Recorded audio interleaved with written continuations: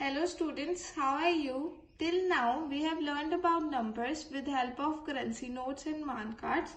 Today from our mathematics book on page number 18 we will learn about what comes just after, just before and in between the numbers. Today these children went to see the circus and there they are standing in lines to get their tickets. So first is Praneeth, after Praneeth is Tarleen, after Tarleen is Rasleen, after Rasleen Avneet, after Avneet Mannat. And after Mannat is Anant.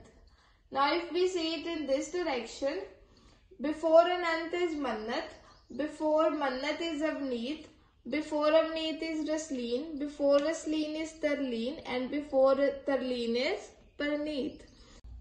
Now if we see after Tarleen is Rasleen and before Avneet is Rasleen and between Tarleen and Avneet is Rasleen.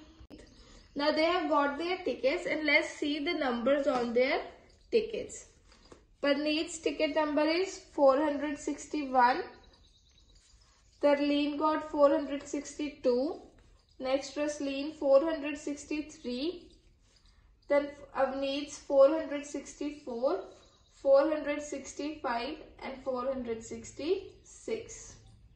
Now if we see that after 462 comes 463. Then before 464 comes 463. And between 462 and 464 is 463. Now if we see this on number strip,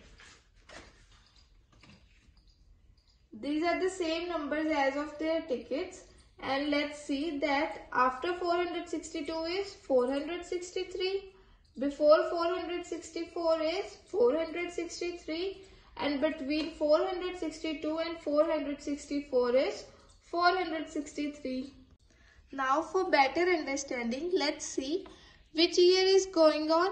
Current year is 2020 and next year will be 2021 and last year was 2019 so now you can take different numbers at your home and practice what comes in between what comes after and what comes before a number. Thank you